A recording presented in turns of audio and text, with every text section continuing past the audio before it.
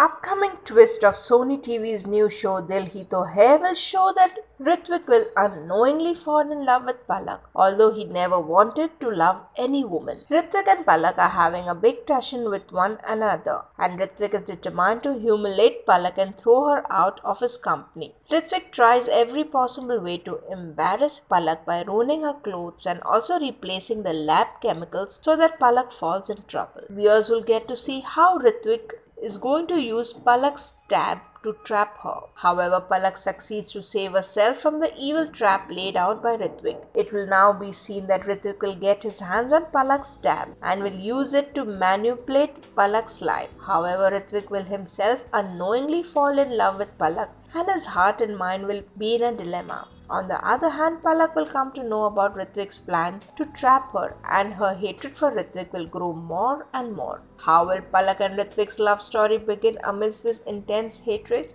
Let's wait and watch. Keep watching our channel TV Primetime for more such exciting updates and upcoming twists.